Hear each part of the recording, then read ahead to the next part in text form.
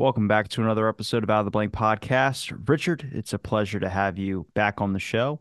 This is your, I think, fourth time, fifth time on, but I wanted to have you on to discuss on this special day because you know today is. It's just ironic we're recording it on President's Day. It won't be out on President's Day, but yeah. Let's talk about the the presidential decree. Uh, what does it mean to be president, and what have we learned about the behind the scenes of what our presidential people have, our presidents have? What does it mean to be president? Oh my God, what a question. Well, it meant a, a, it meant a lot different things to the founders than it does today. I'll tell you that. Um, you know, uh, they talk about taking uh, taking presidents off the ballot and stuff nowadays, but not all the states voted for Washington. Some of them they were still in the protest period where they were switching from uh, the Articles of Confederation to the Constitution, and a lot of states hadn't ratified the Constitution yet. And so they refused to vote in that election for Washington. He was not elected by 13 states. I forget the numbers, but there was a handful of states that did not vote in that election. Washington was elected without being on the ballot in every state or even being in the election in every state. And they still elected him. That's how we got George Washington. And he had an opponent too uh, that you never hear about. It's an, it, yeah, research that, look that up. The, the presidential election of um, 1889, I mean 1789. I wanted to have you on to discuss some things that have been mentioned to me in the past by other JFK researchers, which has been focusing more on the Johnson did it angle and some other areas I've kind of neglected. I don't think that he was involved. I think he was part of the cover up 100%. But I think when it came to, you know, being able to manipulate and really get the plan in motion and all these things, I couldn't. I mean, there's so many people that you could really choose upon about who could possibly be it. But I'm just curious from your perspective of being born and raised in Texas, what you know about figures that have a relation to Texas. I've been getting very interested in the Dallas police. Um, specifically because I believe that a lot of their stuff can boil down to wanting to protect their conviction rates. And Oswald was just one of those that were being wrongfully persecuted. Yeah, well, okay. Let's unpack a little bit of this. Uh, yeah, I've heard you say before you don't think LBJ was involved. Um, I sort of agree with that. He was not a plotter. He was not, he knew what was going to happen. I think as far, I think there were several conspiracies working. Uh, and they all some of them got put aside. Some of them were told to step step down, so that the what we call the CIA's conspiracy could take over. The deep state's conspiracy could take take the final run. Uh, there was there were mob figures, Jimmy Hoffa and those guys. They wanted to kill Kennedy. This goes way back. Uh, on there was word on the street in '62 uh, around the time of Marilyn Monroe's death, uh, there was word on the street that in the mob that they were going to kill Kennedy. And that was coming out of Marcello in New Orleans and, you know, all those guys that, you know, were involved with the CIA. Sure, they were. Uh, may have even given them the idea because they were, they thought they were trying to kill Castro and they were, they were taking missions and going after him. They had experience but they knew who they were working for and all that. But maybe, you know, they also had their hits going on, their contracts. So somebody got the idea, Marcello got the idea, we got to kill Kennedy. Uh, get the pebble out of my shoe, he said. And uh, there were there were other plots going on, uh, I'm sure, um, that either were in- interconnected or not. So you say that, but somehow the alternative plots or the other assassination attempts get chalked up to a conspiracy, and I think it's because I think what some of those records are destroyed, um, like the Chicago plot and things like that get lumped into the conspiracy realm when you're dealing in a discussion on either the forums of the JFK assassination, which I wouldn't recommend, but I think it's I thought it was proven, but it's really hard to find documentation on it, whether it was destroyed or not. You've I've noticed this in several episodes that you've gravitated back to whenever you say the conspiracy, that's a conspiracy, that's the conspiracy realm. You're using the word as if it's not something real. You're using the word as if it's a fantasy. Let's get our definition straight. A conspiracy, whenever you use the word conspiracy, you're talking about something that's real. It has a definition. You know, uh, somebody distracts you in a crowd and another guy picks your pocket. Uh, Rich, That's I, a conspiracy. I'm I'm well aware of the legal definition of real conspiracies. That's why we have a whole uh, d- department that investigate criminal conspiracies. It can be tried in court, but what I use it for is because a lot of the public doesn't know that. So it's the easiest way to get people on board to understanding or getting them to the basis without having a full 20 minute discussion or tangent off of the original point. Sorry, I'm not going along with the public on that. Um, if it's not real, it's a fantasy. If it's real, it's a conspiracy. So, but what you're happening happening to talk about is a conspiracy. Um, the Chicago plot was a conspiracy. Uh, it's yeah. So there's only there's only two theories in the Kennedy assassination: Oswald alone or conspiracy. Those are the only two theories. People talk about all the conspiracy theories. That's propaganda. That's to mess with your head. There are only two conspiracies, Oswald or conspiracy, and we know which one it is. We know it wasn't Oswald. We know it was a conspiracy. It was just one conspiracy, although there were others in operation, but they all got either set aside or congealed into one. Only one conspiracy killed Kennedy. And we know that. We've known that from the beginning. Uh, so when we talk about cons- conspiracies plural, that's my first red flag that you're misdefining conspiracy and you're not talking about the Kennedy assassination. You're talking about whatever, some fantasy that you've heard about or, or had. Uh, I want to talk about the conspiracy, the one that killed Kennedy, the one and only that killed Kennedy. Um, and LBJ, you know, you got to go back to 1960. He ran against Kennedy in the primaries, talking about presidents and primaries. He ran against Kennedy. He wanted to be president. Johnson always wanted to be president. He was obsessed with the idea. Um, Nixon, of course, was running as a Republican in the Republican primary against uh, Kennedy. Nixon was, he thought he was the sure thing. He thought he was in. You know, this Kennedy kid, he's no, he's no real threat. That didn't develop till later that's kind of happening this year too. That this year is a very retro kind of election for me. But that aside, LBJ, you know, people at that level of power knew about Kennedy's um, illness. He had a, um, a Addison's disease. It wasn't actually Addison's disease. A lot of people call it that, but a lot of people will will jump on you if you call it that because it wasn't Addison's disease specifically, it, but it was an adrenal deficiency. Sort of borderline, maybe might have developed into Addison's, maybe, but technically not Addison. It was an adrenal deficiency though that endangered his life.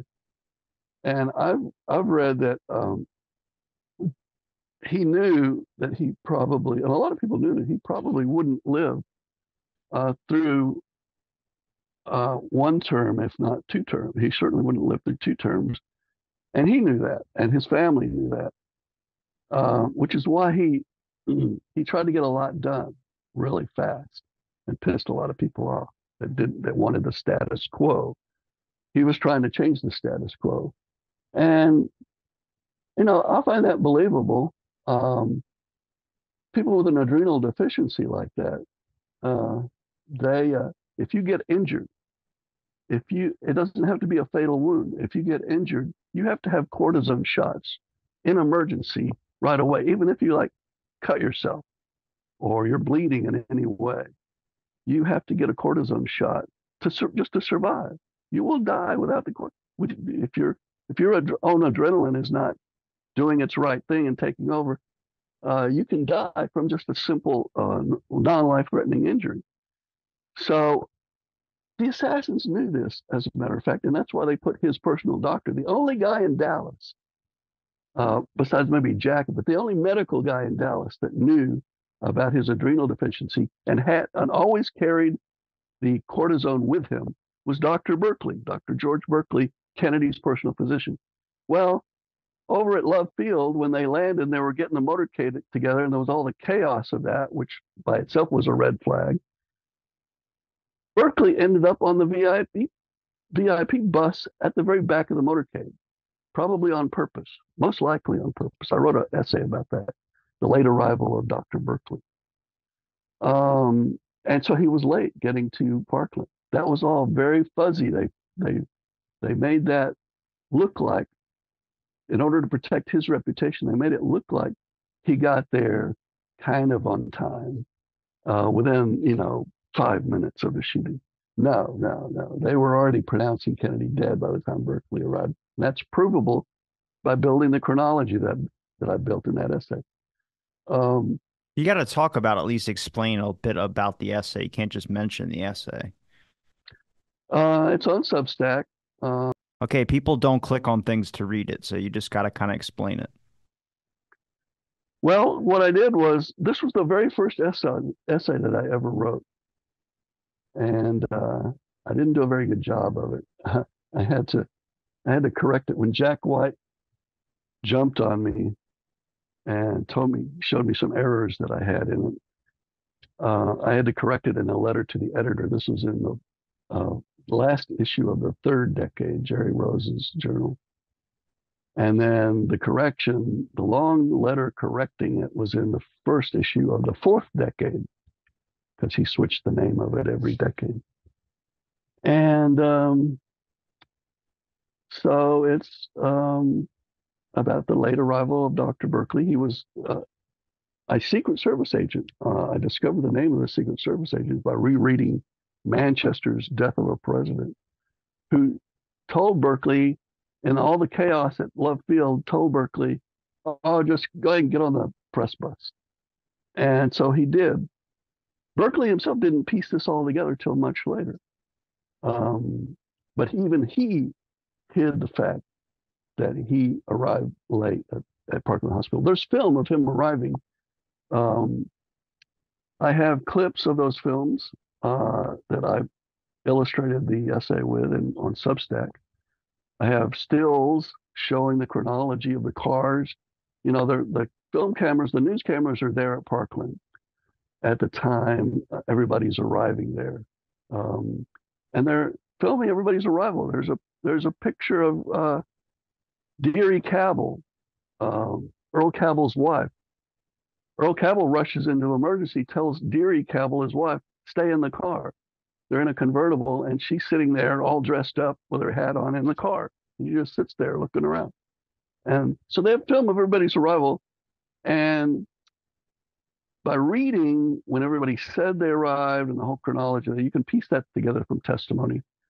Uh, and then you can watch the film and you can see, okay, there's so and so, there's that car, there's this car. They were they uh, were cleaning out the limo. They were getting the pieces of the top of the limo out of the back of the trunk uh, and started to assemble it. There, right there, is a timeline you, that you can follow and you can see which cars are there when they start. You can see which cars are there when they end. Cars are coming and going, and you can piece together this chronology. Well, in the middle of this chronology, you know, with certain cars here, certain cars there, certain pieces of the top placed on the limo, by these activities, you see Burkley's arrival. They filmed Burkley's arrival in a little white sedan, and he and his assistant get out of the car, has his bag, and they they walk around the car and rush into the emergency room. And they walk right by the limo as they're going in, and you can see the guy still putting the top on the car as he's walking in. So you know you have an exact time at that moment of when he arrived. And, you know, I don't want to, it was late. It was like at least, it was at least a quarter to one uh, at the earliest. Uh, but that's also by reading the doctor's testimony, I also discovered That's you know they'd already been working on him. For, they they knew pretty quickly that they were just going through the motions because he was he was not going to serve. They were keeping him alive uh, with all all the uh, intravenous and all the the mask and the oxygen and all. They were just keeping his heart going, uh, but there was no brain activity, of course. And so they knew what they were doing. They had his brain leaking out the back onto the floor and onto the stretcher. Uh, so they were just going through the motions. By a quarter till, by the time Burkley arrives, they were getting ready to call it, uh, to call his death, renounce his death. That's when they started saying, "Oh, we got to get a priest in here. We got to give him last rites." So they delayed it further, of course. But Burkley did not get there before a quarter to one, and that's very late because they needed that cortisone. And he walks in with his bag and he pulls out. He says he pulled out the cortisone, gave it to the doctor in order to give it to Kennedy which he says is what happened. Maybe because they were waiting for the priest, maybe they went through that motion, but that would have been way too late anyway, because even if Kennedy had not been fatally wounded, even if it had not been the head wound, if it had just been like the throat wound, and we know he he lived through that throat wound because he was, you know, reacting to it in the car. Um, and he he that may have been a survivable wound. You know, they could go in there, they could you know take care of the the lung damage or whatever was going on, and he might have survived it, but not without the cortisone. Uh, they didn't take any chances. Uh, the name of the the name of the essay is certain death, because that's what that plan was about. You get we get Burkley and his cortisone shots out of the picture so he can't get there at the beginning of the emergency procedures to give him the cortisone. Then all we have to do is wound Kennedy. Uh, you know, you know, we'll take our shots, we'll try to kill him, but all we got to do is wound him. So they didn't take any chances. They took no chances at all by getting Burkley out of the picture. All they had to do was wound him, and he was dead. Um, and uh, so, well, have you tried to look into who organized that plan? Like, could it just be just a mishap at Love Field? We already know there was one issue with who was going to be riding in Kennedy's car. Was it going to be Connally or was it going to be, um, I think it's Yarborough? Might be. Uh, yeah, Ralph, yeah. Ralph Yarborough was, uh, Ralph Yarborough hated Johnson and he hated Connally. They were nemesis. They were longtime political enemies. Everybody in Texas knew that. Yarborough represented the liberal wing of the Texas Democratic Party. And in Texas, when you call yourself a Democrat, most of Texas Democrats were going by their memory, going back to the Civil War, when the Democrats were the Republicans and the Republicans were the Democrats.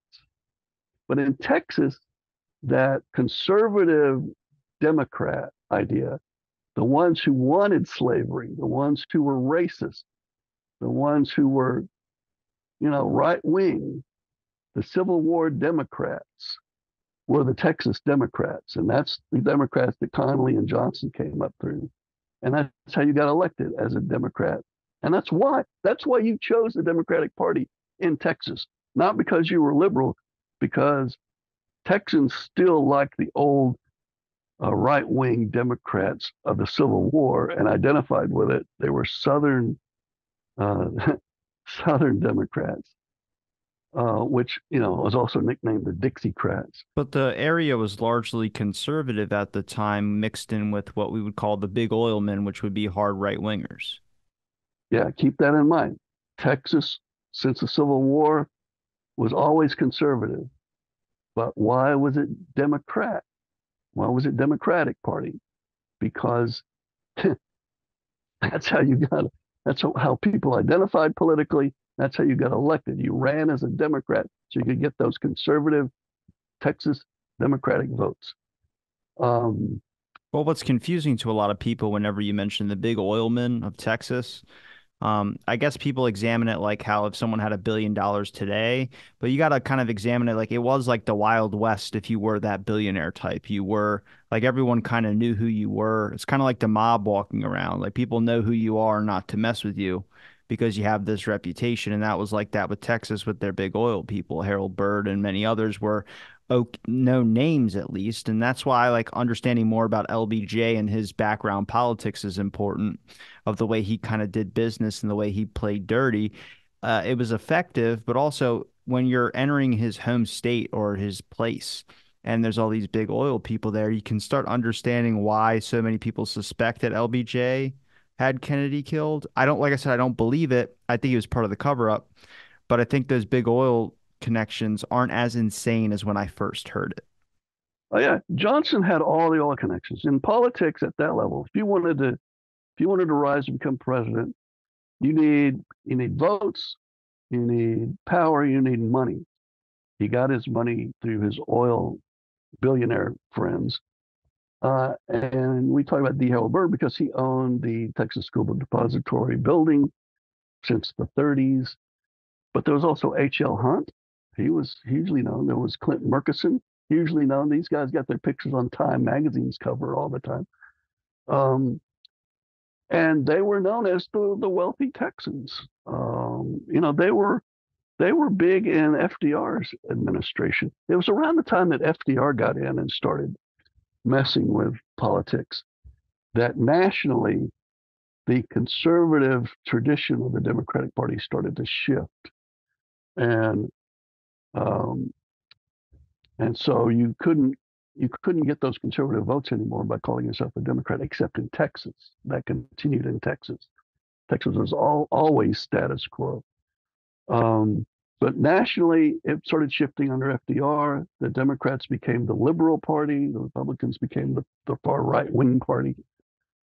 That all happened, you know, fairly recently, from at the time of the Depression. Uh, before that, nationally, it was still Republicans good, Democrats bad. Uh, but Democrats bad, Republicans good. Uh, I mean, Democrats good, Democrats bad remained in Texas, and still really largely does to this day. Um, although we became a red state uh, because of what happened after, you know, finally started shifting. By the time Reagan got in, Connally, it's actually John Connally was the first major politician in Texas to switch parties. And then uh, there was a lot of switching that went on. I guarantee you, if Johnson had lived longer and had stayed in politics, Johnson would have shifted to the Republican Party because that's where his identity was. That's where it shifted to.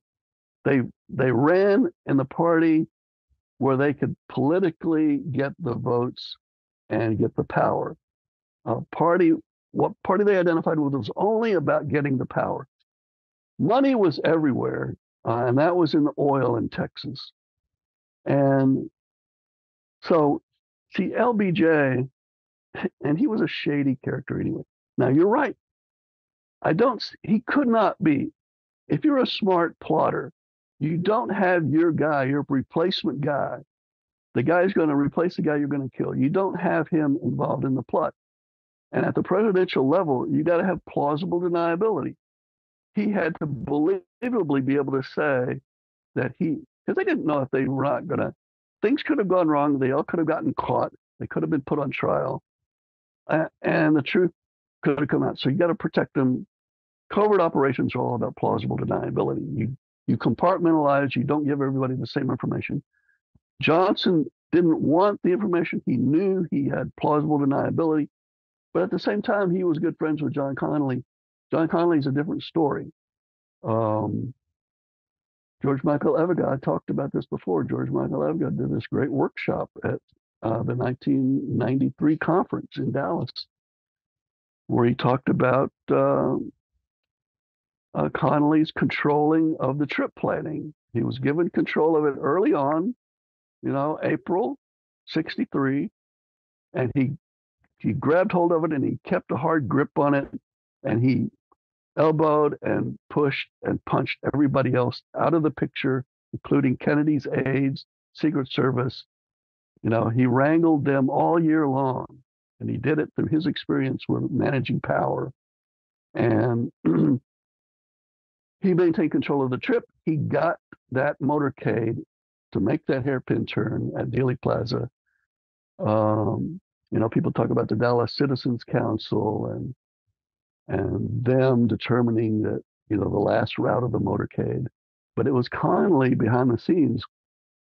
And it's also through guys like Bill Moyers who were directly work still working for for Johnson, but a lot of Connally people when it looked when it when when Johnson finally got power, a lot of Connally's people who there was a straight difference between whether you were a Connally person or a LBJ person until Johnson became vice president, and then a lot of Connally people said, "Okay, we'll join together." A lot of Connally people went on.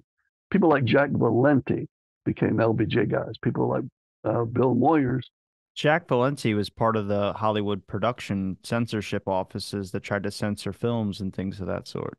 Right. Yeah. Uh, Johnson made him the head of the Motion Picture Guild. Yeah. Uh, that was a reward for him coming up through power through Johnson. Uh, and, and, after the Johnson administration went away and everything politically, that all of that was set aside. He continued his career in the motion picture business, but that was just the reward for that. Uh, Bill Moyers, you know, became a big deal in journalism. Um, you know, they all got their little rewards and their little pieces of power from having been associated with Johnson. Um, and so back to the original idea, Johnson had plausible deniability. They knew he was going to help with the cover up. Um, he could not know the details of the plot or the timing of it or what was going on. He couldn't get updates on the plot.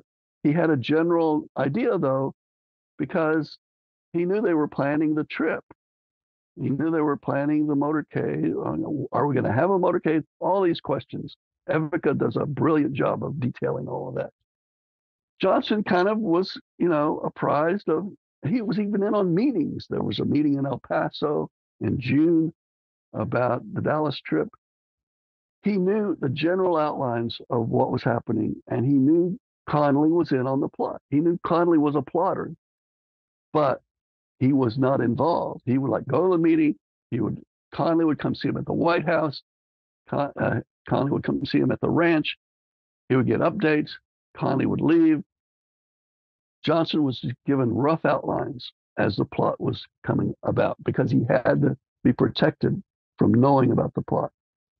His role, because his role would come after the assassination, he had to manage the cover up from the beginning. Now, I was just interesting. I was just reading Richard E. Sprague's book, which you can find online now, uh, The Taking of America, one, two, three. Uh, that book came out in the early 70s.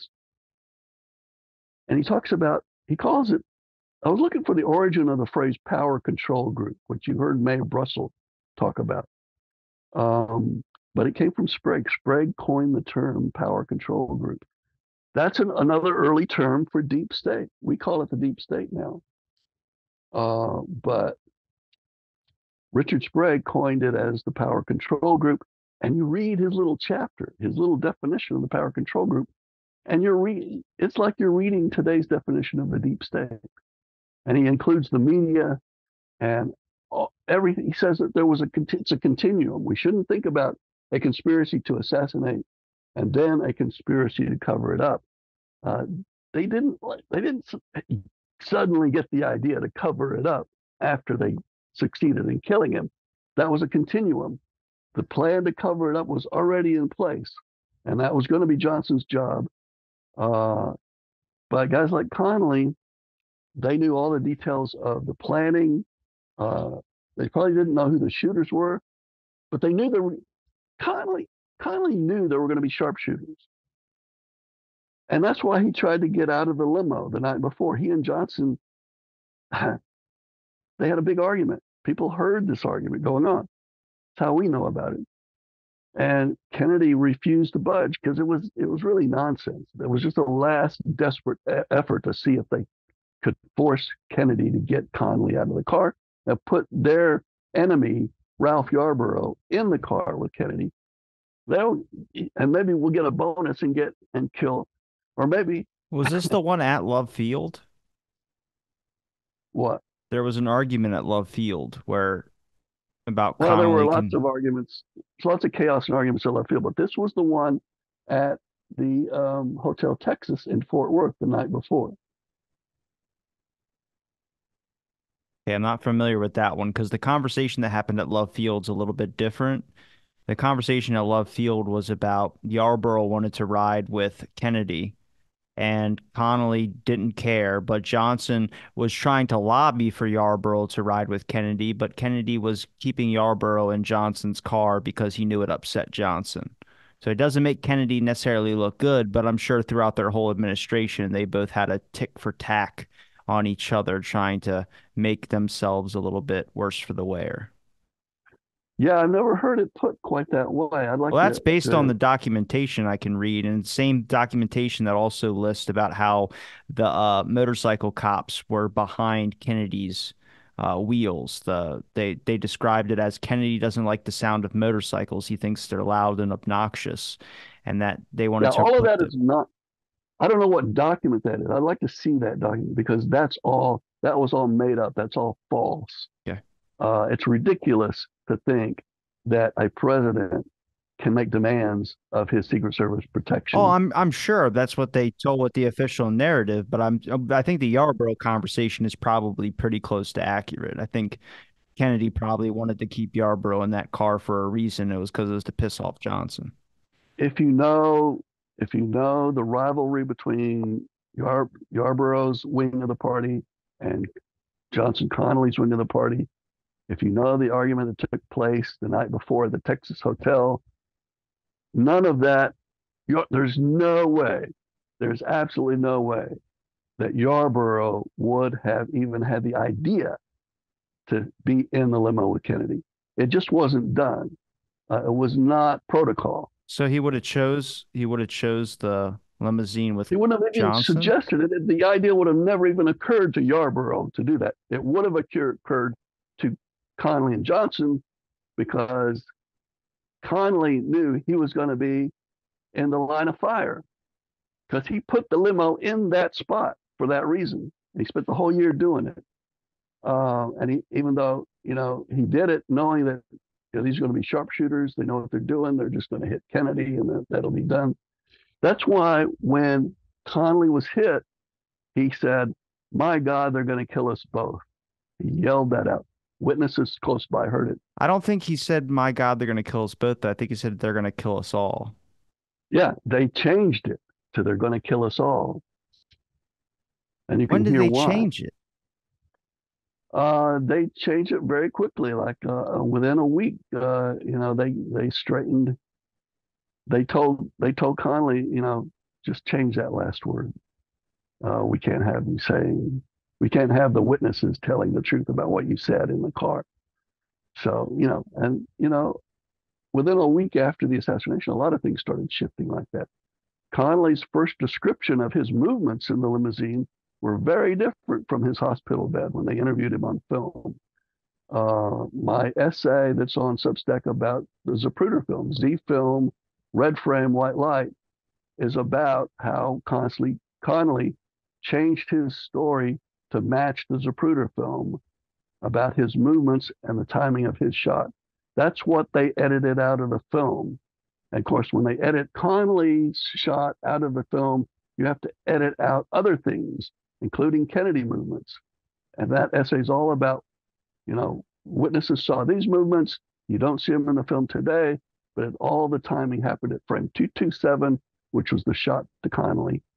Um, so a lot of things were changing within a week after when they were getting their story straight. Uh, and they were faking the Zapruder film. They things had to change. But yeah, Connally was heard to say, My God, they're going to kill us both. Because he knew, he knew uh, when he was hit, he said, Oh, well, dummy me. You know, I thought, I didn't, because they weren't going to accidentally shoot anybody. These are sharpshooters. They were aiming, they had all day to aim. They had all, they said they were out there during the week lining up their shots, at least. And so these are professional snipers. They know how to set things up like this.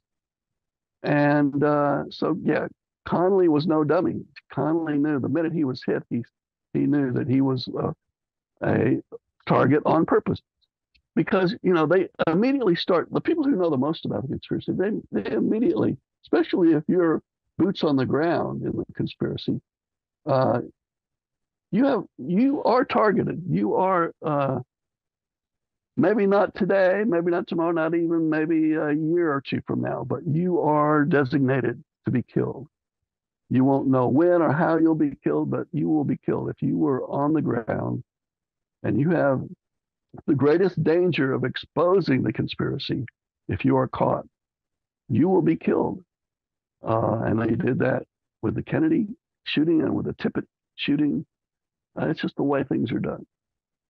Um, and so Connally knew that's why he was hit. But he miraculously survived it because of the way he fell over, pressed against his wounds in a way that allowed him not to bleed out. And he got to Parkland Hospital in better shape than obviously Kennedy. And he was a healthy guy. And they pulled him through. And he used that for the rest of his life. He used that to blackmail the other conspirators. And as it was his insurance for him and his wife, even after he died, it was his his wife's insurance because he hid away the truth in a way, and he made sure his fellow conspirators knew um, you know, if, if you come after me again, if you do anything to me, this is going to come out. We'll blow the whole lid off everything. So that was his insurance. And that's why he was rewarded with being on Nixon's short list to replace Spiro Agnew when Agnew had to resign for corruption. And they needed a new vice president. Connally was on Nixon wanted Connally to be his replacement as president, even as late as 60 years ago, uh, 50 years ago this year was the the fall of Nixon and the resignation of Nixon. I'm I'm sure it was because I, I don't necessarily think it was um a good decision by Nixon to do that, but I think it's because Spiro Agnew was targeted, taken out first, and then they took out Nixon. I do believe Nixon was targeted. I don't know why out of that whole era we just talk about Nixon like nobody ever did anything bad back then. I'm also not a Nixon supporter. I don't think Nixon should have stayed in office, but Spiro Agnew, if you look at like his comments uh, when people, the press, made comments about Nixon, they were talking about Nixon in such horrible ways, and Spiro Agnew was like the bulldog, and he's been referenced as that of like attacking the press about what their statements were for Nixon, and I feel like he just had to go. Yeah, the uh, he called them the the nabobs of negativity. Yeah, that's yeah, the nattering nabobs of negativity. Nattering, I was trying to remember that. The nattering nabobs of negativity. Yeah, he was a character. Um, From Maryland. As vice president. Go. I mean, you know, you never hear Kamala Harris say much of anything. No, she just straight. witch cackles in this weird way. but uh, back then, you had guys that were characters as vice president. Going back to John Nance Garner, who was uh, FDR's first vice president, Texan guy from Texas, John Nance Garner, the guy that Kennedy uh, revered and went to visit him just like for his birthday in November of 63. One of the last official acts of Kennedy was to go visit John Nance Garner. Um, but uh, yeah, so so now Connally did not become vice president for Nixon, although Nixon wanted it badly. Uh, it became um, Gerald Ford. And then Gerald Ford had to pick a vice president, and he picked Nelson Rockefeller, the Rockefellers were always in the background of all of this. I think Nixon's move of choosing Gerald Ford was a really bad decision because that was Hoover's like go-to guy was Ford or inside man, I should say. If we talk about work on the Warren Commission, and plus Gerald Ford pardoned Nixon, I think that was just payment for that. Like you're not going to stay in office, but I'm going to pardon you. Well, no, no, it wasn't. It wasn't, but it wasn't Ford's idea to reward Nixon, uh, Ford was picked to do that.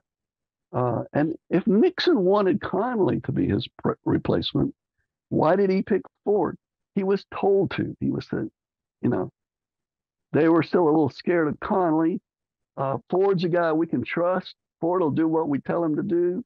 I do believe that. I think that was a move by Hoover and others to orchestrate that and get Gerald Ford as president. But the issue is, why do you think Nixon never said anything? He had dirt on everybody. He could have easily blown the whistle on J. Edgar Hoover. He could have done any of that. That's like the age long question of why he didn't choose to expose or say anything. And the only thing I can think of is that Nixon's a bit of a Boy Scout like go by the rules type in the, in the sense of like government is government and I'm not going to expose them. He could easily put out the government secrets, but he didn't do it because I guess maybe he didn't want to be the president that did that, but he could have easily done it.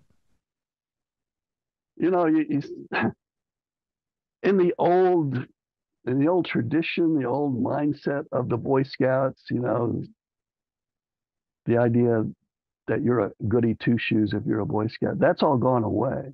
The Boy Scouts have been completely devastated. Oh, 100%. There's a new documentary about all the scandals that yeah, yeah. So, yeah, so there's that today. But there's also, the, there was always this idea that the Boy Scouts, people who knew the negative side of the Boy Scouts, always knew them as more like the Hitler Youth. They were like the Americanized version of the Hitler Youth. That's how you tr- you train from a very early age to go into the military and they're groomed. Uh, good, be a good soldier. Yeah. You can sometimes go to the best Ivy League schools, then you join the secret society societies like Skull and Bones, and next thing you know, you get into a position of power, and you wonder why the whole thing is like a damn frat club. And in the sense of that negative view of the Boy Scouts, yeah, Nixon was a Boy Scout. Nixon was a Hitler Youth Boy Scout. Nixon was a Nazi. You know, he knew all about paperclip. Uh, he was cronies with Hoover. He went to, he was in on all the, the poker games where they talked about all the secrets, you know, the setup for Pearl Harbor, all, all of the ho- most horrible. So why didn't he expose it? Because he was not, he was not a good Boy Scout. He was a bad Boy Scout. He was one of them.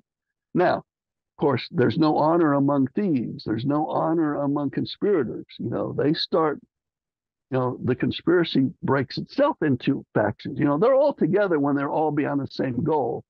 But before they plotted a conspiracy together, they were they had their rivalries. You know, Clint Murchison and and H.L. Hunt. I was recently telling people about this when the Kansas City Chiefs won the Super Bowl. Uh, Kansas City Chiefs have always been in the family of the Hunts, the Dallas Oil Hunt family. Lamar Hunt um, was the, the creator of the Dallas Texans in 1959, the same year that Clint Murchison created the Dallas Cowboys. They were rivals. Um, and, you know, the Texans were um, uh, AFL and the Cowboys were NFL. And, you know, it's like this town's not big enough for both of us. And so it was a Hunt that won and stayed in Dallas with the Dallas Cowboys. And Lamar Hunt was kicked out and moved him to Kansas City and renamed them the Chiefs. Um, so the Murchisons, the Cowboys were the Murchisons, the, the Chiefs were the Hunts. Uh, and they were, they, so, but they get together right after, and it was in May of 1963 that Lamar Hunt and his team were kicked out of Dallas. Uh, of course, he had plenty. The Hunts still stayed in Dallas. They were a Dallas-based oil hierarchy, you know, uh, power group, and so were the Murchisons, and so so was uh, D. Harold Byrd. they were all Dallas. Dallas was the conservative headquarters for everybody. Uh, you know, there, Houston had its versions, but Dallas was the banking community. Dallas was the Federal Reserve city. Uh, that's where all the money was was in Dallas. Um, but so they they they spent the rest of '63. You know, the Kansas City Chiefs are now in Kansas. We only have one team in Dallas by Clint Murchison, but those guys got really busy on the conspiracy after that. They had a lot to do the rest of that year. Uh, and they worked together. They succeeded in killing Kennedy. They succeeded in the cover up. And then they, after that, they get back to their football and they went on and they created the Super Bowl.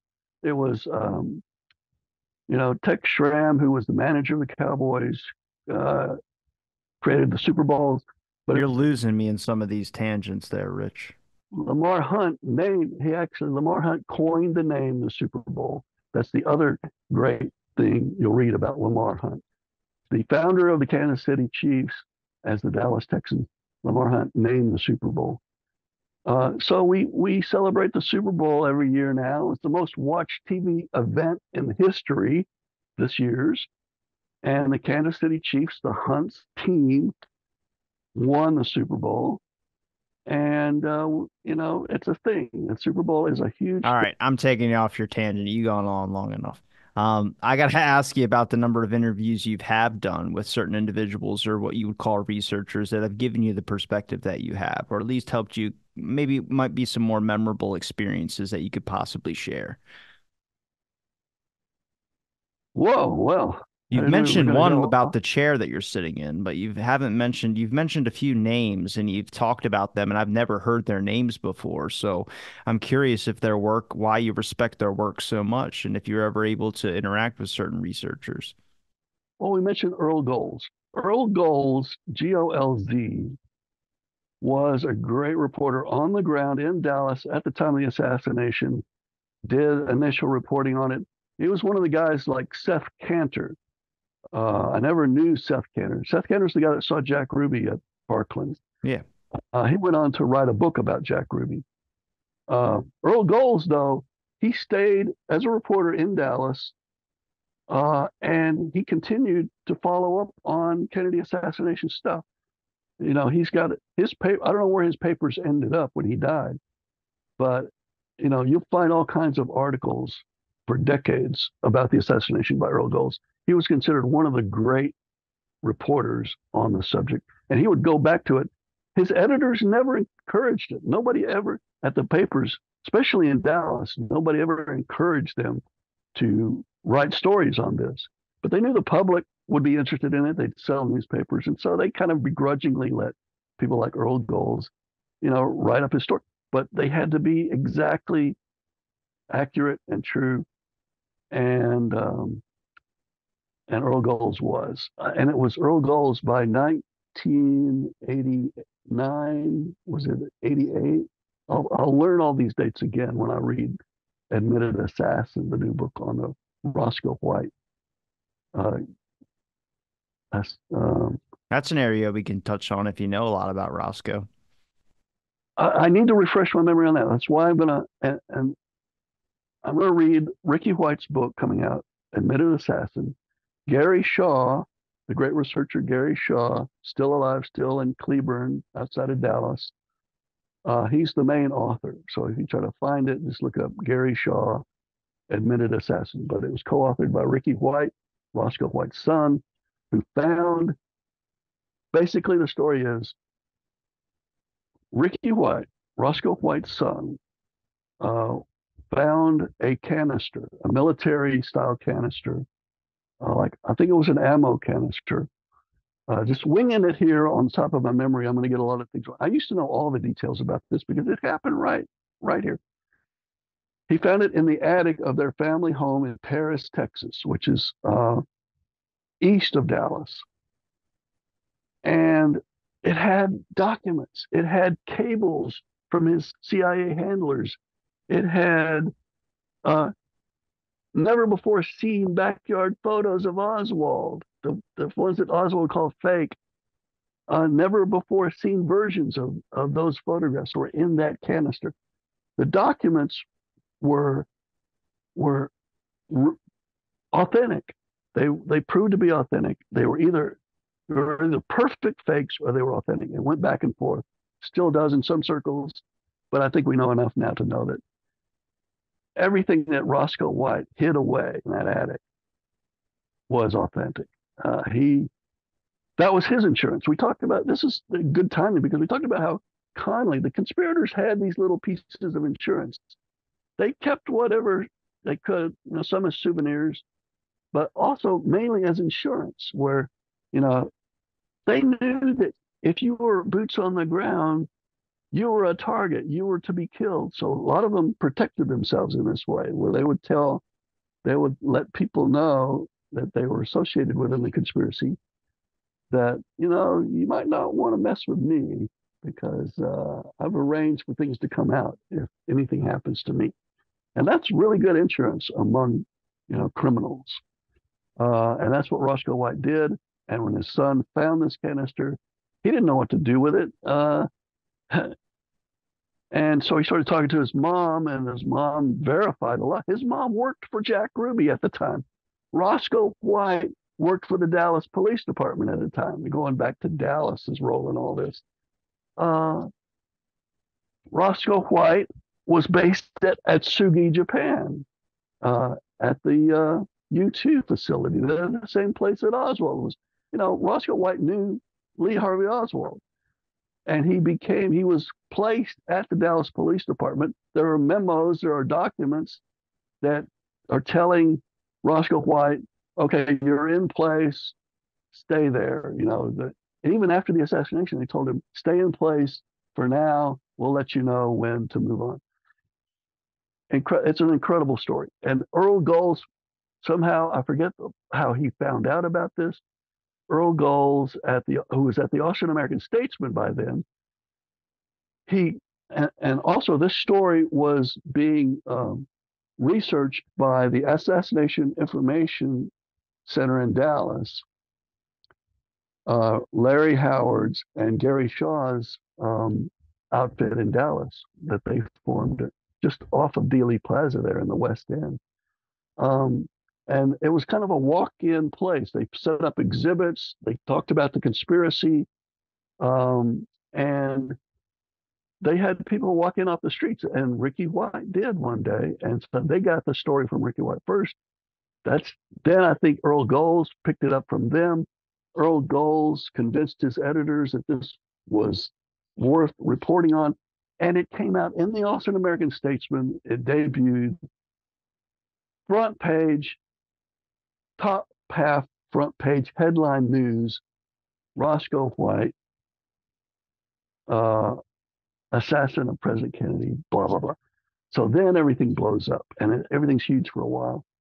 And this is around the same time, this is late 80s, when I don't quite remember if it happened, if Earl Golz came out with this before I knew about the Rambler or just after. But it's happening at the same time. And I'm, this is affecting my thinking because I, I find this Rambler on the campus of the UT, and it looks like whoever had this Rambler was, knew something about Roger Craig seeing a getaway car that looked like this Rambler. You know, I knew that much, but I said, there's no way this is that car. This is somebody just like doing a cosplay kind of a thing with his car. But then when the Ricky White story started blowing up, and I'm thinking, oh my God, this guy who was a Dallas cop who may have been one of the shooters, uh, leaves uh, leaves behind documentation that he was one of those shooters uh, that anybody could find and then look at it and see the truth. And I'm thinking, my God, what what if that's what George Wing is doing with his car? And it was at that point, it was months after I saw the car, that something encouraged me to take a deeper look into that car. So I started looking into that car the way they were looking into Roscoe White's background and his documents and artifacts. And I started finding the same kind of thing. Everything started piecing together. So, you know, it's like it, it made sense to me. And that's, I, I, pretty much think it was the, the Roscoe White story. That story stuck with me big time. In fact, when I was working at UT at the time, my boss, that I, I'd already been there like eight, nine years, and so I knew my boss really well. I'm the assistant director of my department. Uh, I knew both of them really well. But my boss, the top director, David Price, was from Paris, Texas. He grew up in Paris, Texas. And so in 1991, this is all still playing out. And the, the Oliver Stone film, we've just learned that that's coming out. Uh, and so I'm talking to my boss and I'm saying, you know, what do you think about this Roscoe White thing in Paris? Did you ever hear about the White family in Paris, Texas? Here's their house. We know where they live. This is the attic they found this in. And I'm just like chatting over coffee with my boss one day. And I said, uh, you know, did you know this family? He said, you know, they ring a bell, but I'll I'll check with my friends and everybody, my family in Paris. I'm going to be going up there soon. So in '91, he takes a vacation and he goes back home to Paris, Texas, and he said, "I'll look into it when I'm up there." Well, so he comes back and he finds out, yeah, it all makes sense. It all rings true. I wanted to ask because, like, during the investigations of the HSCA and things like the Assassination Records Review Board, and also filing your own Freedom of Information Act requests, I mean, have you filed significant amounts or just any amounts of Freedom of Information requests when it comes to the assassination of President Kennedy? And what was the difficulties dealing with that? Yeah, I, I never went uh, national. I never went with a federal. I learned how to do it. I had friends who were doing it and they were more than happy to file for things that I was interested in. So I never had to do it myself. But I did go through Texas Open Records Act. I did a lot of that, and that's how I, because I was still investigating George Wing and the Rambler. That was my main area, and so I could get that stuff. I had to get stuff out of UT about George Wing, and I did it through Texas Open Records Act. Um, so I did it on a state level, but I had close friends who were doing getting all this stuff on the national level. I knew other researchers in other parts of the country who were big time um, FOIA activists and researchers, and they were compiling tons of documents, and they still have them today. Um, so I didn't feel like a strong need. There was nothing on the federal level, you know, and I didn't have time for that anyway. So I was I was doing my own basic research, and I was doing analysis. I, I consider myself an an analyst of the research, the best research that everybody else did. Um, I told somebody recently, you know, they talked about the piles of data about a certain area of the assassination or whatever, and I said, you know, piles of data are only as good as their analyst. And that's true, I think. And so I've taken areas of the assassination, I've analyzed the data that exists. I, I didn't have to dig it up. I, I would maybe dig up a tidbit here and there, or I'd verify something. But uh, I, I would always do more verification of other people's data and mainly analysis of it because it's the, in the analysis uh, that you either get to the truth or you get to the furthering the lies you know, everybody everybody had ever told a lie about the Kennedy assassination. They did it under the guise of having analyzed it. So you, you know, it's all about how you analyze it. It's not about the data itself, it's how you analyze the data. Well, what data is correct and what data isn't? That's that's how you that's where the analysis comes in. You have to you have to verify the data uh, I know, but give me some know. data that you've been able to find that was incorrect. That was incorrect.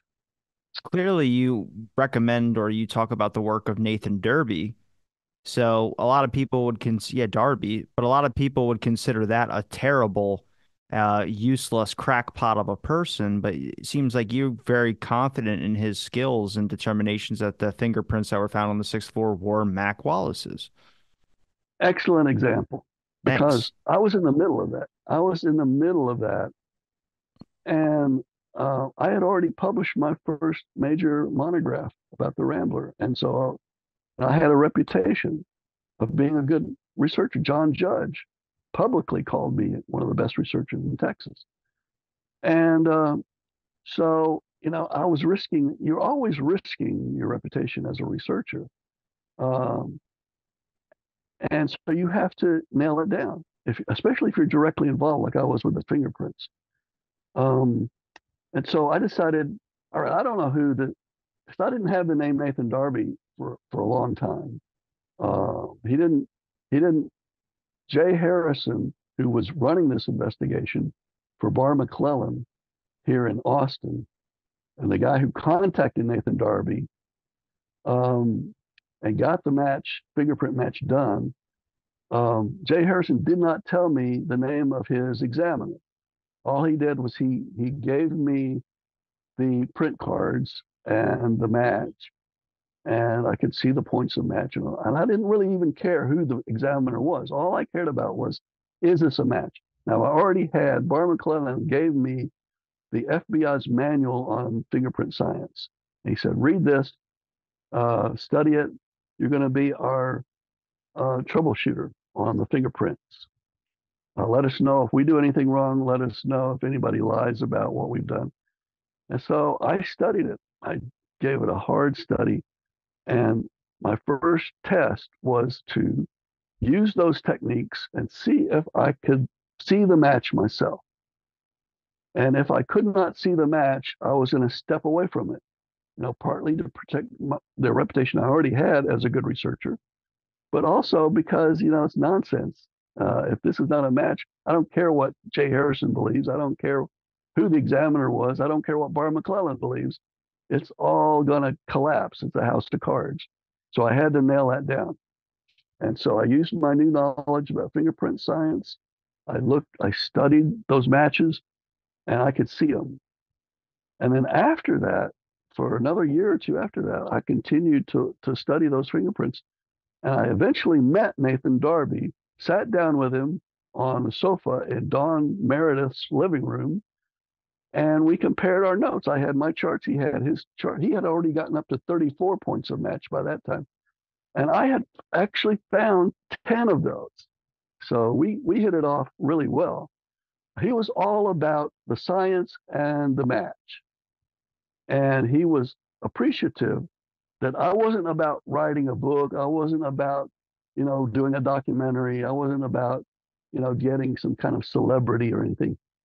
He knew that I was all I was also all about the match because I had found 10 of the same matches that he found.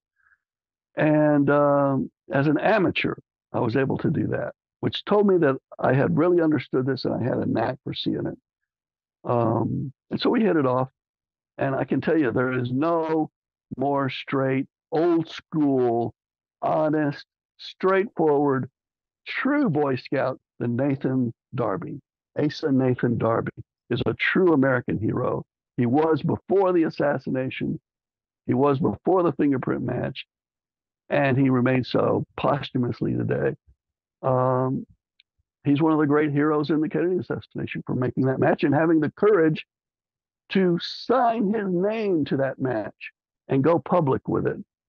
Uh, he knew the dangers of that. Two other examiners had already said no, they were scared to death, or their spouses were scared to death. They stepped out of it.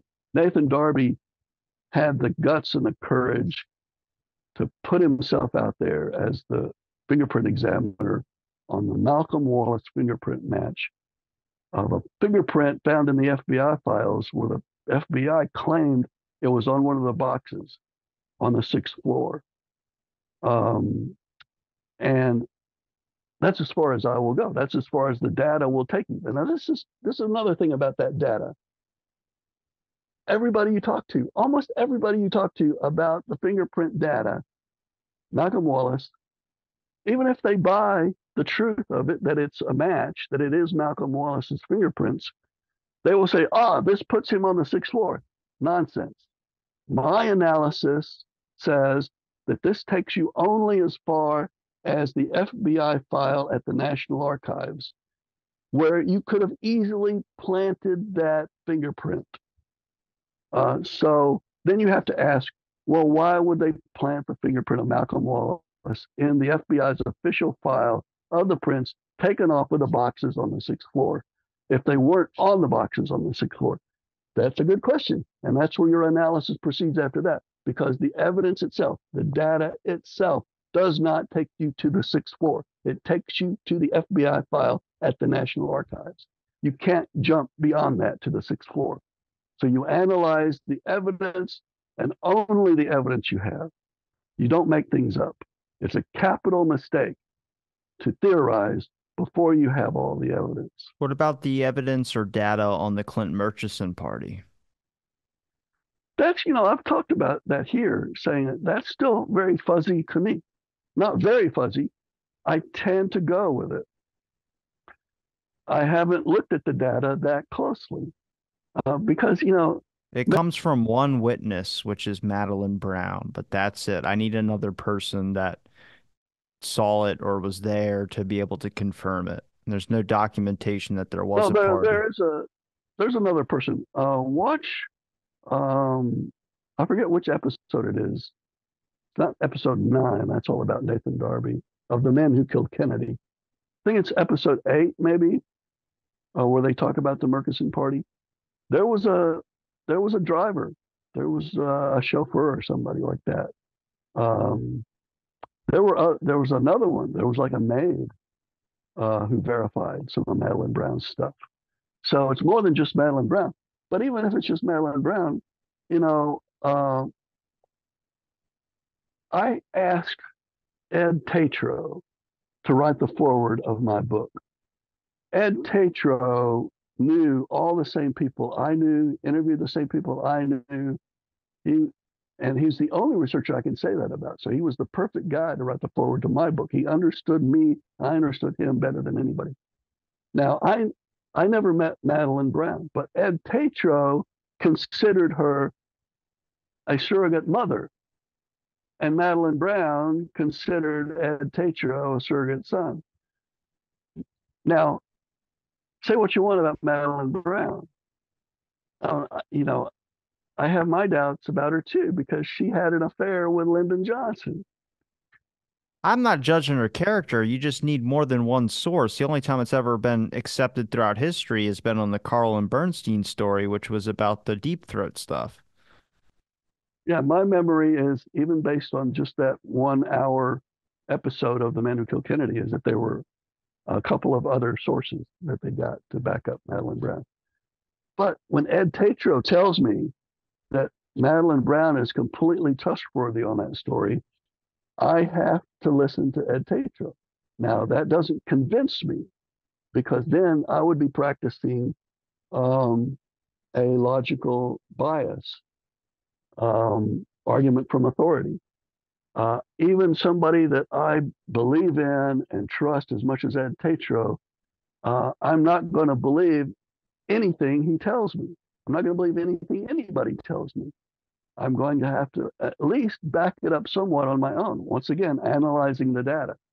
So Ed Tatro tells me that Madeline Brown is completely trustworthy about the Murchison story and everything she said about Johnson and every all of that. And to me, okay, that's a good lead. I will take that and I will do my own research and verify that data as much as I can after that. But at least I know I'm not wasting my time. I'm trusting well enough to know that I won't be wasting my time looking into that.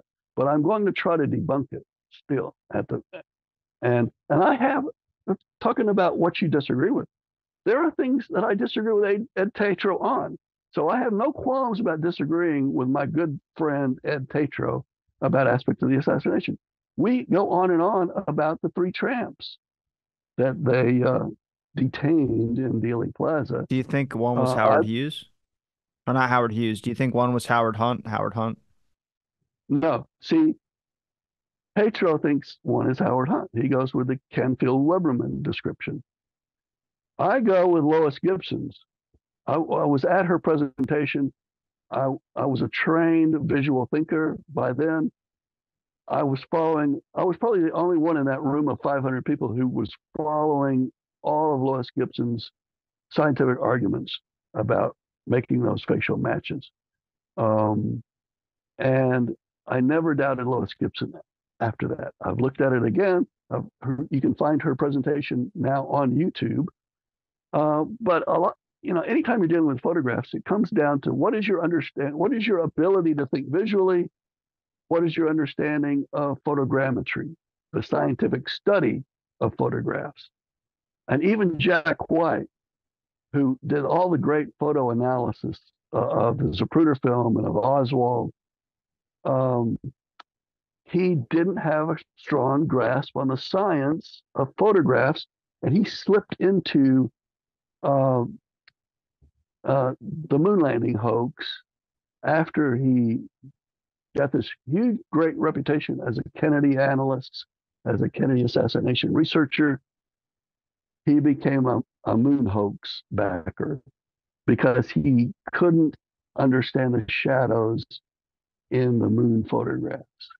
He could understand shadows all day in Dealey Plaza and in the Zapruder film, But when it came to the complexity of a smaller planet and no atmosphere and those complex perspectives and shadows, he was at a loss because he didn't understand the science of perspective, the science of photographic analysis. And he was a he was a photographic uh, expert for the HSCA.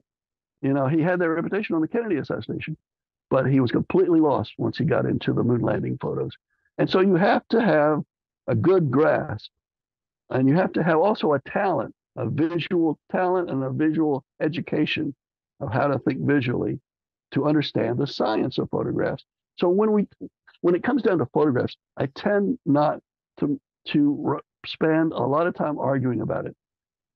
When you talk about, you know, Oswald lookalikes, you talk about even the doppelgangers uh, based on photographs. You talk about was he standing in the doorway based on photographs. And I just I laugh when I read people's takes when they're trying to analyze photographs like that, um, because I see right away they have no clue what they're doing when they're looking at a photograph. A photograph is not reality. We're learning that even still today. People are shocked to find out that you can now write out a series of text and and AI will make a movie about it. Uh, did you see those on the news recently? Uh, but these were just short clips. Eventually, and Hollywood knows this already. Hollywood is scared to death, but but the executives are excited because now the executives can have a screenplay they can feed it into Chat GPT or whatever the new AI is that comes out with a movie. Feed the feed the script into the the AI, and it will spit out a fully done movie. It will take whatever it needs from the cloud, and it will put together the entire movie from beginning to end that follows the script.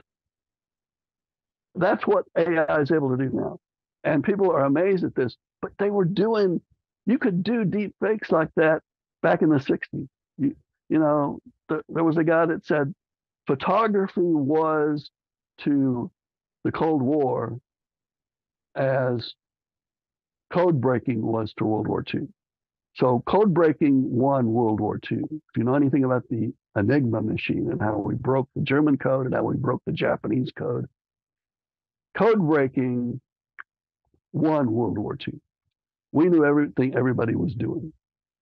This guy said that photography was to the Cold War what code breaking was to World War II. We won the Cold War based on our ability to analyze and fake photographs. So we were doing that in analog anyway. Deep fakes were very possible.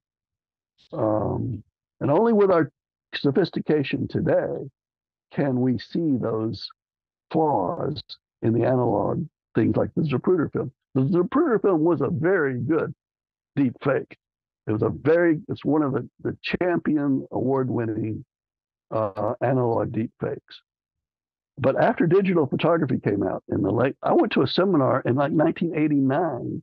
I went to a seminar at the campus of UT uh, about digital photography. It was something new. And as, as a professional artist, and photographer at UT, we took this seminar, and the guys explained to us, now this has been around in the military already now for like 10 years, and we know a lot about it. And he said, from this day forward, you will never be able to use a photograph. You can always have a photograph used as evidence against you in court. You can always have that thrown out as evidence because from today forward, no one can trust a photograph. So photographs are, we visual thinkers have always known that a photograph is just an illusion. It's a painting. It's no better than a drawing or a painting. But the public has always had in their minds that if I can see it in a photograph, it's real. If I can see it on TV, it's real. If I can see it on a movie screen, it's real. No. Uh, visual thinkers have always known that there is a deception to all photography and all cinematography. Um, so, you know, you have to have all of this understanding going on at the same time. If you're going to argue about the photographs in the Kennedy assassination, um, so I don't bother with it because there's a thing called facial blindness. I've talked about that before here too. Uh, people are on a spectrum. Yeah, it's yet another spectrum, but it's a spectrum of being able to recognize somebody by their face. Facial blindness is the lower extreme of it where you you cannot absolutely cannot recognize somebody from one meeting to the next meeting from their face. You have to go by clues. Brad Pitt has it. Brad Pitt has it. Yeah, so there's facial blindness. 60 Minutes did an excellent little story on this, and there's um, there's uh, super recognizers. The other end of the spectrum is super recognizers, and there's a test you can take to see where you are on the spectrum. I took the test. I came out as a super recognizer, which you would think because I'm trained in visual thinking. I also have always, in second grade, when it was discovered, I've had a knack for portraiture, which I developed into a knack for caricature. And caricature is all about nailing the likeness. So it didn't surprise me that I was a super face recognizer. I could you know, I have like a 95% chance of recognizing you from a baby picture, certainly from a high school picture. Um, but there's also, so, so you never know who you're talking to. When you're arguing photographs and doppelgangers or any photographs, really, you never know where they are on their knowledge of photographic analysis. You never know where they are on the facial blindness uh, spectrum. And so it's just until you get all of that out of the way, you can't you know, analyze any data or argue any data, you have to know who you're talking to. Well, do you think it's important to examine the data now based on uh, an article that you have on your Substack about deep time? Because obviously, with the conspiracy and just the amount that keeps getting piled on top and piled on top and piled on top, I mean, we're 60 years in. And, you know, for a lot of people that have been there since the beginning and have watched it all unfold, you keep thinking the next year is going to be the year. But then what does it leave for the newer generation who's just largely disconnected from it? Even like my brother, talked to him about it. He's like, I don't know who Jack Ruby is. So I was like, dude, you're 30 years old. How do you not know who Jack Ruby is? And you kind of realize that a lot of people ju- just don't care about the event, uh, younger generations. And it's like, well, then the conspiracy wins, right? The conspirators, the people that pulled this off the ones that were able to buy it and just keep delaying and delaying and delaying without sparking up any inspiration. So I think at this point now, because of the mass amount of information that is out there about the Kennedy assassination, there needs to be look throughs about certain theories and certain ideas. And it's not challenging them, but it's about looking at the data of those things. If I can't prove by another source that Clinton Murchison's party did happen, it's not something that that's really worth discussing unless you're just already interested in the Kennedy assassination. It's like with those clips that we've been doing. I've really tried to raise everything and really try and look at things that, yes, everything has documentation to it. But when you really talk about the overall events and the amount of people that have examined this over the past 60 years, you're going to come up with a lot of weird connections and a lot of interesting things that necessarily might be far from the point, but could they be essential? Overall, time wins. And so far, I don't think we're going to really see this thing last a lot longer. Maybe my generation, I might get some people hooked onto it, but a lot of the older folks are not going to be able to see the things that we might want out of getting Kennedy assassination related documents and maybe a more thorough conclusion. Whether it is that there was a bullet that was placed on a stretcher by Paul Landis or something. Even though I don't buy it, it's sure as a hell a lot better than the single bullet theory, which is that's what it is. Yeah, we know it's a conspiracy. Uh, but read my essay, The Gordian Knot. Um, and you can follow up on that and read Martin Schotz. I love how you think people read, man. I just love it. No, no, I'm I know people don't read. I'm just saying read it. You know, I write. I'll I read it personally, short... but if you're asking listeners to, good I, luck, dude. Fuck. I re- I write five. I heard you say fuck. I heard you say. no, no, I write five to fifteen minute essays. My longest essay on there, maybe half an hour. Uh, it's not like reading a book. I know, you know. Why don't you just do video clips? You should have done that a long time ago. Start your own YouTube. Um, it's not that difficult. Yeah, yeah. But here, here's the deal. Jesus. You're trying to give you advice here. Two and a half years, you're coming to the point where you see the futility. I'm tired of it, is what I am. I am tired of it. I'm more interested in Howard Hughes now and the fact that Kennedy's dad owned RKO Productions at one point before Howard Hughes owned it. I'm glad you're I'm glad you're tired of it because I can't I can't understand why we're still 60 years into this and we're still, you know, digging up data and analyzing it. I'm just surprised at the number of people that just don't have any knowledge or interest in any, like, don't know who Lee Harvey Oswald is. I thought his name would just be like Elvis. You just knew it. Yeah. Um, but then the number of people that will challenge you on your theory as well too. Like I had a guy who thinks Johnson did it, and I was like, I don't think Johnson did it. and he got immediately got defensive. I was like, it doesn't eliminate the conversation or the friendship that we've had developing it and giving you the time on my show. But I just, it's not my. I don't think I can't get there yet. I haven't gotten there. I don't think there's evidence really to support it. I think there's something deeper, but I do think he was part of the cover up. It doesn't mean I disagree entirely. I'm still going to let someone explain themselves, but you, you, the community is just, it's too much for anyone to want to get interested. Yeah, look, we all have a right to our opinion. Yeah. But opinions themselves are not equal. We all have an equal right to our opinion, but opinions themselves are not equal.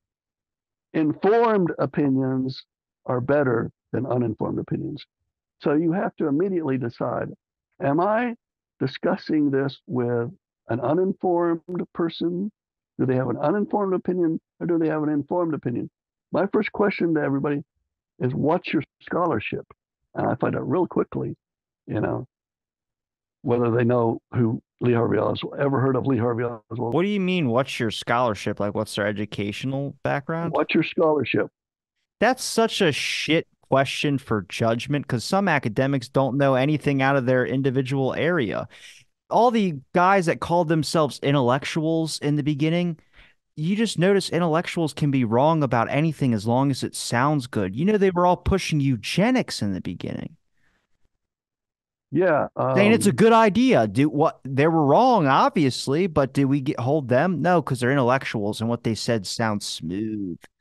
And Joe Joe Green wrote a brilliant essay about this in his tinfoil hat book, uh, about how they use the term Occam's razor. These are code words, uh, and I, I will admit that I purposely say "What's your scholarship?" as a vocabulary test right from the start. What it means is, what have you read? Uh, but if if they don't understand what's your scholarship, that tells me, okay, that's I'll need to bring it down another level. Now, Occam's razor is a sci- is a pseudo scientific term. A lot of people think it's a scientific term. They think it's a principle. They think it's a, a law or a principle. Occam's razor, which means uh, the simplest explanation is usually the best. Now, that has been used as a weapon against JFK researchers, and Joe wrote all about this, uh, to say, well, you know, the single bullet theory, um, Kennedy assassination, you got to apply Occam's razor. It's the simplest explanation. Oswald did it. Uh, Occam's razor is nonsense. Occam's razor has never been a scientific principle. Uh, it applies in certain mathematical areas and in certain strictly scientific areas, but it doesn't apply to even sciences like psychology. When you get into human psychology, the complexity, the more complex explanation is usually the answer. And when you get into covert operations, Occam's razor is useless against a well planned covert operation. Think of it like a magic trick. Occam's razor, you apply Occam's razor to a magic trick, and you're going to think, oh my God, he just made that lady float up in the air. Of course, that's the answer. Uh, he has the power of levitation. That's Occam's razor which of course is nonsense. You get into the complexity of it. You say, okay, how did he do this? What was the trick? You apply Occam's razor to the trick, not to what you just saw with your own eyes. That's the way covert operations are. Covert operations are sophisticated magic tricks. And you do not apply Occam's razor to it, but that's used as a bludgeon against researchers. It always says from the beginning, uh, you're wrong. Oswald did it because of Occam's razor. You know, that's uh, that's that's not pseudo intellectualism. That's outright deceptive intellectualism. Well, finding a wrapping point here, what would you recommend to individuals out there when they're going to look into the Kennedy assassination and even recommend recommendations to other researchers who seem to have forgotten the essential point sometimes about what the assassination research focus was, what the particular goal is? Um, if if you want to do the research, if you want to do the scholarship, if you know how to do research and scholarship, use it as a way of learning how to do research and scholarship, how to do critical thinking. Um, any number of subjects can take you towards that. If you already know how to do, think critically and do scholarship, uh, and you want to develop an informed opinion about the Kennedy assassination, have at it. Uh, do the work and develop an informed opinion. That was my initial goal, and I succeeded. Um, but that's that's all you can realistically expect. Um, what needs to happen now is we need to stop thinking that we are going to solve this problem because it's a false mystery. It's already been solved from the beginning. It's a false mystery. It's a waste of time. The reason we're 60 years in is because we wasted all this time thinking it was a mystery to be solved. And we're some are still trying to solve it. What needs to happen is the investigation is over. We know what happened. We know enough about what happened. We're never going to know everything, especially on our own, because that's the nature of a conspiracy. A conspiracy is secret. And you never know everything about a conspiracy. The only way you can know about any of it in advance is to have somebody infiltrate it. Now, we have had the opportunity of talking to infiltrators in the Kennedy conspiracy, and that's how we know everything we know. But at this point, we don't, we'll, we'll never know everything on our own about the conspiracy, but we know who knows. And it's the criminals themselves. It is the power control group, the continuum. People today are part of that continuum. Kennedy's conspirators are living today. They're being recruited, new generations. They are on the ground today, actively making this go on.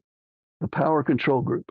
Now, they know, they know all the details. They are taught all the details. Those details exist buried in 40 acres of underground, super secret caves under Washington, D.C., as John Judge told us. And so we get they have the secret history.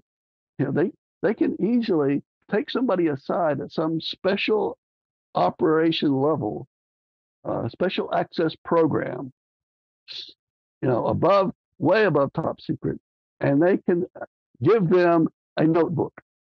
Go through this, you know, it proves the assassination. It's the basic history 101, what really happened to Kennedy, and, you know, that's how they recruit the new people and teach them because you cannot. And I was amazed to read that Richard E. Sprague, in his book, The Taking of America 123, he said it in these words. He said, You cannot keep this a secret for generations without knowing the truth yourself.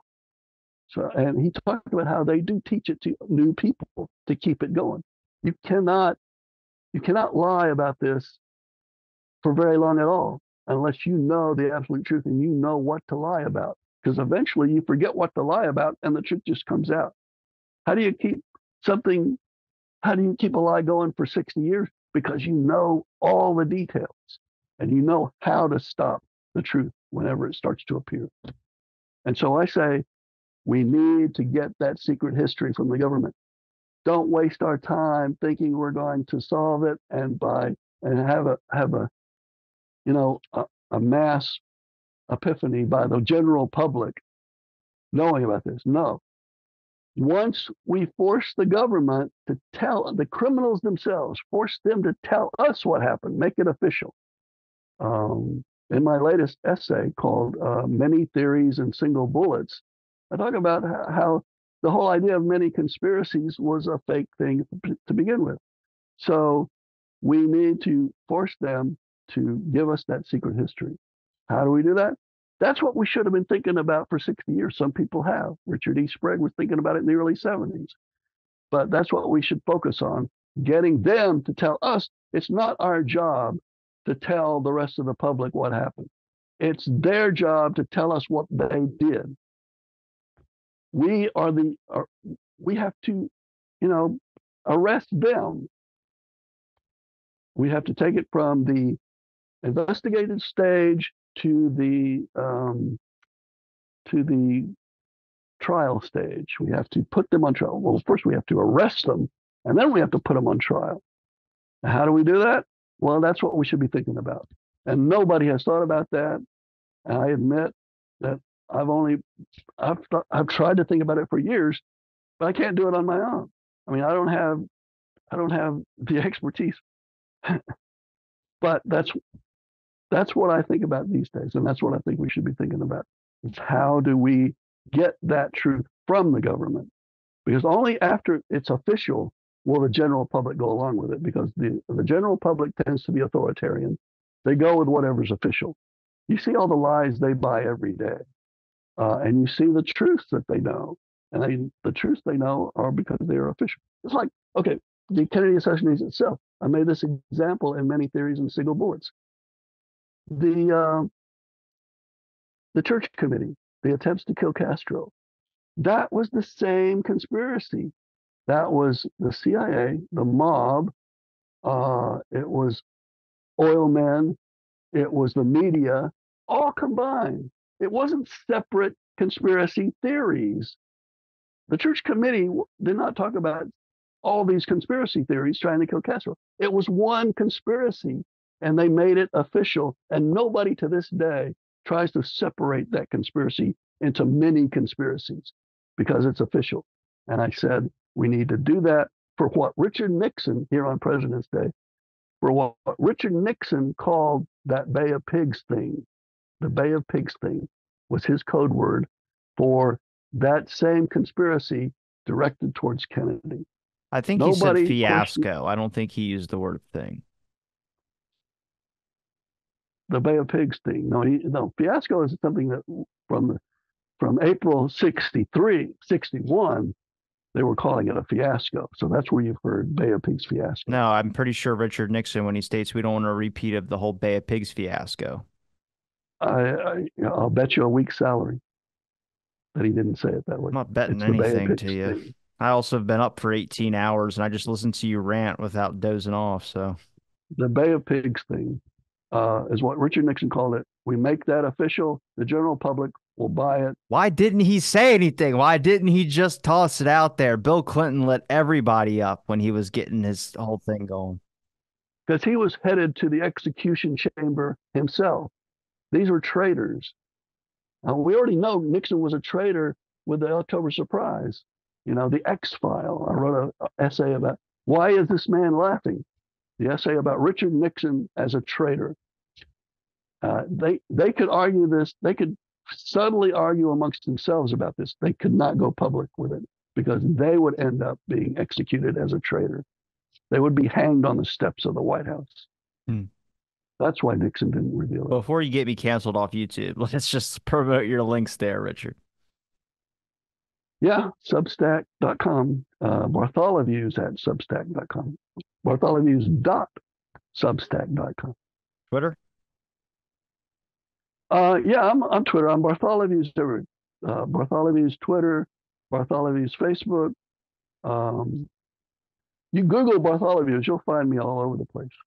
That's my that's my brand name, Bartholoviews. It's a good good brand name. But I'll link all your links in the description. Richard, it's been a pleasure chatting with you again. And thanks everybody for listening to this episode of Out of the Blank Podcast.